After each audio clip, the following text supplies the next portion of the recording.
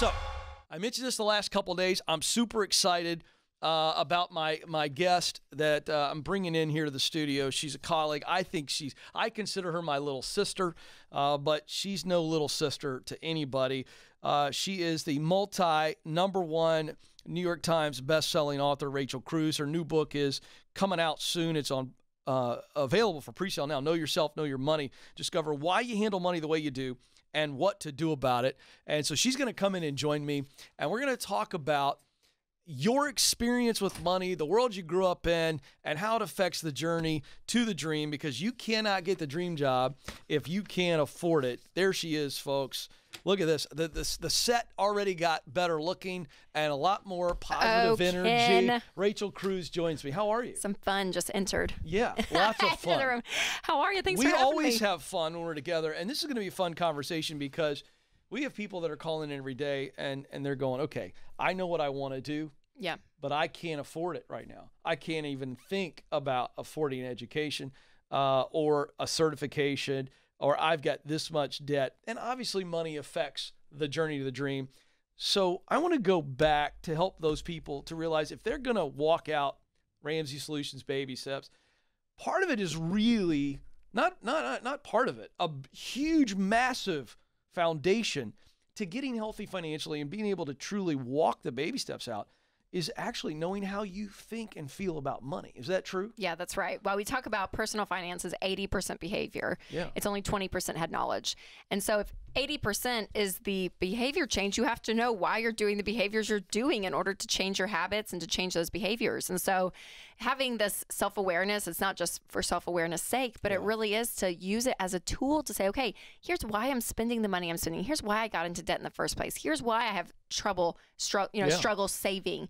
Here are these answers because you're actually asking the right questions. all right so here's what's fun you did a lot of research you you looked through this we said okay what's really happening here? And i want you i'm going to walk you through um, the the classrooms. But before i do it i want you to explain to people what you've done in this book and then we're going to unpack these things because essentially these four classrooms we're going to talk about this really helps us all figure out where we are and where we need to be. But tell us where this idea comes from and what you're doing in the book and how you're guiding people Yeah, well, the book, you know, is all about understanding why you handle money the way you do. So it's everything from your childhood to your fears, your dreams, your tendencies. There's so much there. But starting back, how you grew up is mm. such an important step. And so what ended up happening was I've heard people say all the time, counselors and psychologists, that your home growing up was like your classroom. It's where you learned all your lessons, and some lessons you wish you could unlearn, some lessons you could take with you into adulthood. But figuring out those lessons, and I was like, oh, wow, okay, because money is really communicated in two ways in a household. It's communicated verbally and it's communicated emotionally. Mm-hmm. And so having this, I as I was writing the manuscript, I was like, oh my gosh, it makes like a graph. Like I was like, God gave me a quadrant. Thank you, Jesus. this quadrant are these four money classrooms um, that really intersect in that midpoint. So the first money classroom is the anxious money classroom, and this is where it is verbally closed but emotionally stressed. All right, break that down. Verbally close. What does that mean? Does that mean that we're not just there's no talk of money? We kind of know it exists, but nobody ever refers to it. Exactly. Yeah. So verbally, you're either closed or open in the household. And so closed, a lot of people grew up like that, where money just was never talked about. It was a taboo subject. It's like parents didn't talk about politics, sex, money. I mean, nothing. They didn't go there. And so that closed. But then also, emotionally, it was stressed in that classroom one. You could feel tension. If you grew up in this classroom, you felt tension around money, but it was never said, it was never spoken of. But like toward the end of the month, you know, you could feel that tension rise when the bills were due. Yeah. Classroom number two is the unstable money classroom. So this is where it's verbally open but emotionally stressed. Yeah. So lots of fighting, lots of conflict. You heard your parents probably have the same money fight over and over again. They may have fought with extended family. Like I mean, it so was it's there. just when we say verbally open, but the emotional stress, it's just there's no guardrails. It's just we've got money issues. Here's why we got money issues. Here's how it sucks. Here's what it's doing. Is it's just this kind of free for all. a little bit, yeah. Is and it chaotic in nature? Yeah, I think so, very much so. And just a little bit of that unstable feeling. So, a lot Yeah. of people I talked to that grew up in this class, you know, they heard a lot. There was tension around money and they heard the fighting. But then at the same time, like their dad would get a tax return and they're like, oh, let's go to the mall and go shopping. And it was like mm. everything was fine. And then the next day, they would ask to get a certain cereal at the grocery store. And their mom was like, no, we can't afford that. Why would you even ask for that? and it, it's just volatile. It feels very volatile in that classroom. Number two. Classroom number three is the unaware money classroom. So this is where it's emotionally calm but verbally closed. Yeah. So this is the one that maybe your head was in the sand with money. You never really even thought about it because it just there Yeah. wasn't a thing. Yeah. This now this is interesting. As I was on your show recently, we talked about this, and you said, "Okay, Ken, what, what were th- what was the classroom that you grew up in in the Coleman household?" And it's certainly this one, uh, the calm, the, the or the unaware classroom. And so emotionally calm in that I never saw my parents highs and lows and Yep. really stressed out about it, but they didn't talk a whole bunch about money. Now, they would reveal, hey, this is what we are doing. We can't do this. It was clear when we could or could not afford something. But there wasn't a whole lot of discussion as to why, how, where, what do you do with money? Dad never talked about investing with us. Yep. You know, now we were encouraged to work, but there just wasn't a lot of communication. I, I'm curious, uh, and and I asked you, I asked you this before, and I want to ask you this on on this show. How much of this do you think is because, and not just Ken and Barb, but how how much of this this classroom is about a parent not wanting to feel less than if they talk about money and there's not a whole lot of it? Yeah, I think that there's an element of that for sure. I think I find in this classroom too that there's if it's a couple that one one person in the relationship will just take control of the money and the other one it's like, "Oh yeah, that's good. I feel safe not knowing." Because it's mm-hmm. almost like knowing it and saying it out loud makes it real. Yeah. And when you can just kind of avoid it, it feels better because if you if you don't avoid it and you go right into it and Yeah. actually like state the facts and be in that emotion, it can be hard, right? Because it's discouraging. And money, Dr. John Delony talks about this. Money is like the one part of our lives that has a number to it. Like you can say, I'm a good dad, but no one really knows what that means, or Yeah. I'm a good wife. Okay, Right. I don't know what It's that means. But money, it's like, oh no, like you're not. It is there. Yeah, it's the ultimate scoreboard. Yes, and Yeah. and especially for a man, I think that that Oh. I think that majorly has effect. Yeah, which is so Uh, important. The work you're doing of helping yeah. people find careers that they That's right. love and that they succeed in. Yeah, yeah, so that they're not just looking at the paycheck. They're going, there's some purpose attached to this. Uh, let's go to the last one, which is the secure classroom. Yeah, So this is verbally open and emotionally calm. Okay. And you don't have to have a lot of money to be in this classroom. It's not you could have ten dollars, ten million, but the idea is that it's controlled, it's talked about, and um, I mean the kids know where the parents stand, but there's there's no shame attached to it. And this is the one we want to all be in. Yes, Why? I al- yeah, I always encourage or in the book the readers to whatever their present day family is to get here because it's good for you, right? I mean, open communication Yeah. around money is is huge, not only for the relationship and for the actual practical side of money, but when you learn how to communicate well on a really tough subject, you use those same communication skills in other parts of your life with your parenting, talking about in-laws, you know, talking about the hard things in marriage. And then it being emotionally calm is our key. Like I want you to be in control of your money. When you're out Mm-hmm. of control, there's naturally going to be stress. You don't know what's going on. But again, you can make, you know, $40,000 a year Yeah. Thirty thousand dollars a year and still be in control. Have a budget. Know exactly what you're doing with it. There's Yeah. a plan in place, and that gives you peace. All right, so let's go back just briefly to the other classrooms, the the the uh, the anxious, the unstable, the unaware. If they're in any of these classrooms, they're part of it. They need to understand. Well, this is where you grew up, and so this is kind of a learned behavior. That's it's right. environmental. What are the things they need to do? So let's talk about if they're in that emotional, the anxious, which is the emotionally stressed, and then very verbally close. How do they begin to change the room? I think with this classroom especially, you have to say it out loud. Mm. The communication part of this is start. huge. Yes, I think that's the number one place to start with this classroom, because again, sometimes it's it feels so scary when it's all in your head. Yeah.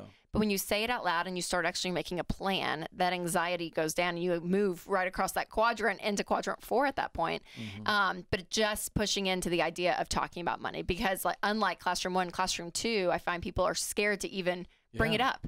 It's like it's not even worth it to a lot of people. They become apathetic. They're like, it's not even worth talking about money because if I talk about it, it's gonna it's gonna result Right. in conflict because that's all they know. Right. That's how they grew up. And so pushing through that fear to say, no, I'm actually going to take control, and we actually can have a healthy dialogue about this. Mhm. Uh, number three, I would say there's a there's a chance that people feel like, okay, yeah, uh, if I talk to a, a woman and her husband just takes care of all the finances, turns out she most likely she grew up in that number three household, and she's like, it just feels good. I feel comfortable here. If I push in, I don't want to know. It's almost like that ignorance is bliss. I don't want to know, Right. or vice versa, man versus woman. Sure. Um, but within this classroom, yeah, you have to learn, even though it's emotionally calm. Maybe maybe there is control over it, but you have to learn to verbalize it and talk about it. All right. So, what are the biggest fears? Because I think if you look at all of these, uh, uh, classroom one, two, three, there's fear driving these actions. Yeah. So, what are some of the biggest fears around money that just, just if you look across the world, like this is the humanness and this is what we fear most? Mm. Well, fear is interesting. I talked to Dr. Chip Dodd a lot about Yeah. this in the subject, and he said fear is your body's physical response that you need help. And I love that because I'm like, sometimes we push down fear. When it gets to anxiety, then that gets unhealthy. But when there's a natural fear that bubbles up, there's a reason why. And so it's really important to name it, understand it, and then put mm. things in place to help kind of subside that fear. Yeah. So one of the big fears, the number one financial fear for women specifically, is are we going to be okay if something happens? Yeah. that financial insecurity. And a lot of people experience that, male and female, during 2020, like during the pandemic. And it was, I mean, Winston and I, we've been doing this for a decade now together. So we're on baby step seven.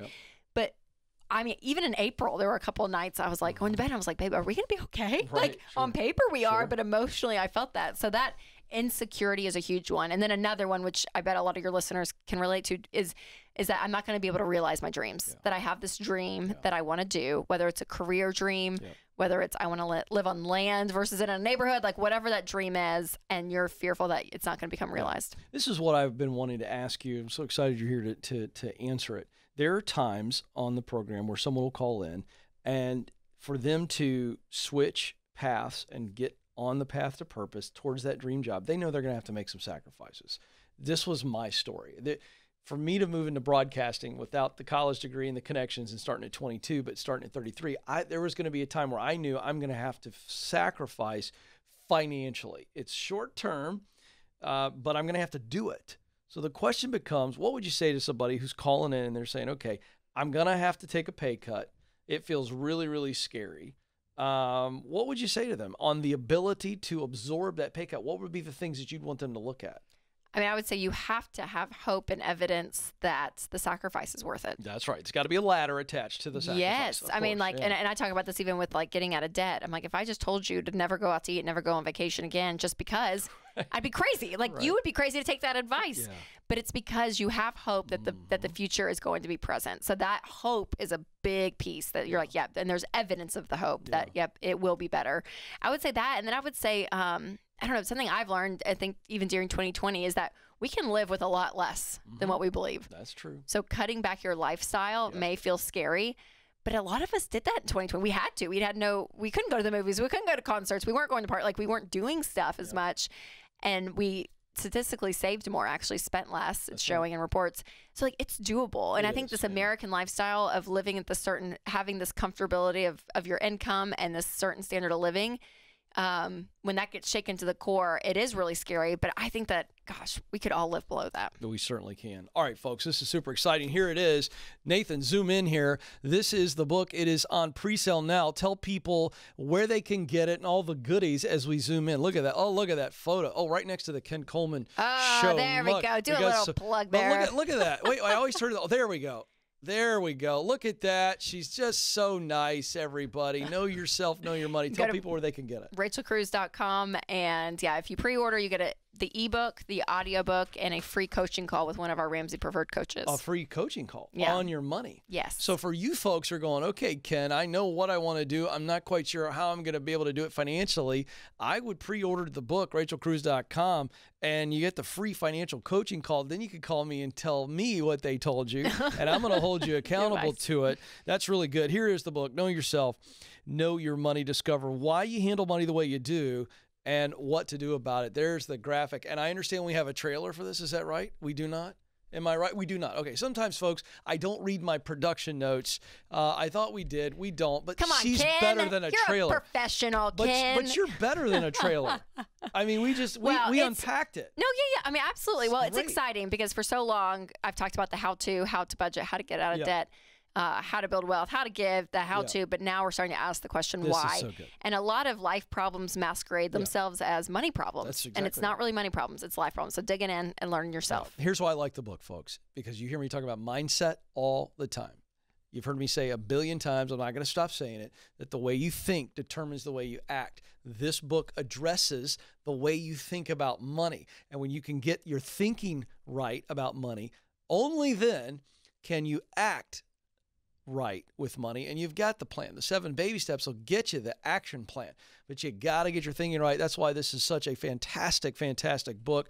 Again, rachelcruze.com, get it, pre order, get all the goodies. And again, that coaching call, some of you, it's the life change that you've been waiting on. So do that.